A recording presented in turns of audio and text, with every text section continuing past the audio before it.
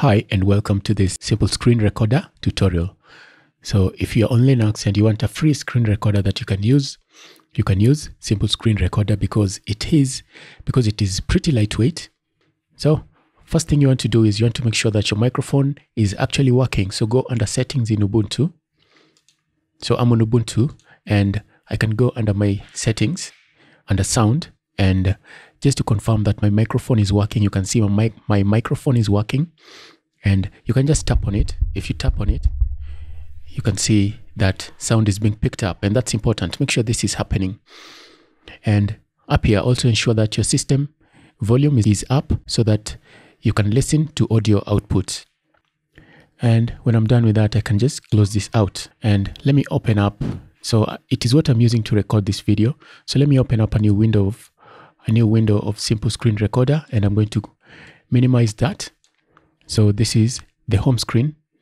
You can just click continue and here you can choose the default. You can leave it at the default and then you can choose the video input. What do you want? Do you want the entire screen? For me, I want the entire screen. So I'm going to choose my screen there. If I had two screens, I could have, I could easily choose the other screen if I had another screen enabled. And then you can record at a fixed rectangle so this will give you the option to just select where you want to, select where you want to record a rectangle. Just click and drag to select where you want to record and that area will be recorded. You can also select a window. If you have applications, if you have applications that are running, you can choose any of those applications to record. You can record, yes, you can follow the cursor. Just wherever the cursor go, goes, the recording will go with that. Okay, in most cases, you probably just want to record the entire screen. And then, of course, you want to choose a frame rate. For me, I've chosen 60.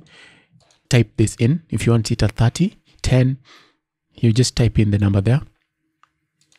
And you can scale video. So once the video is done, you can scale it down. You want to, maybe you're recording on a 4K screen and you want to scale it down to 1920 by 1080. You can do that there as well and then you can choose to record the cursor follow the cursor you can record the audio. Now this is a part that usually gives a lot of people headache.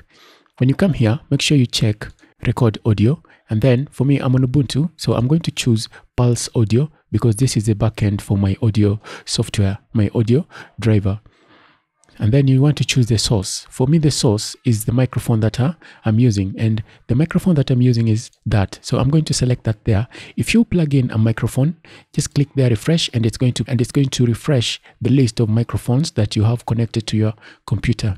And in the settings page, if your microphone is not is not showing the the signs that it's picking up audio, then just unplug it, then plug it back in okay? And once you plug it back in choose the correct microphone and tap it again to see if it's working. Because if it is not being picked up under settings then you're probably not going to receive any audio here. And then we can just continue. Then you can choose wherever you want to save it. This is easy. You can do this. Just browse and create a folder.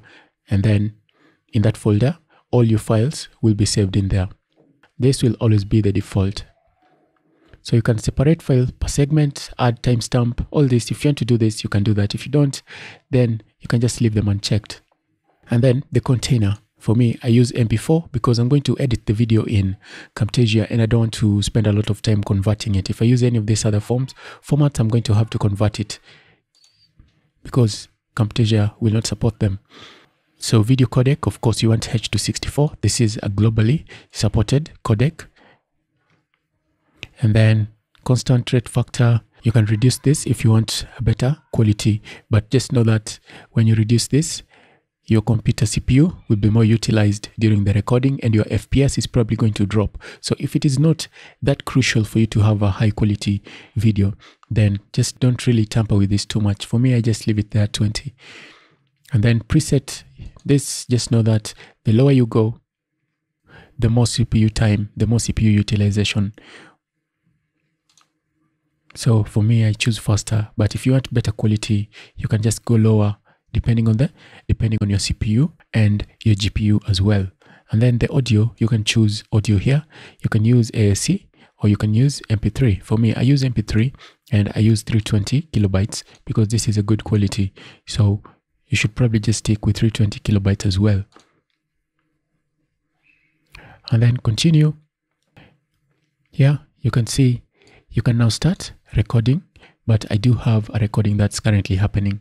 So I can click here to start recording or you can do control plus R and that is going to start recording.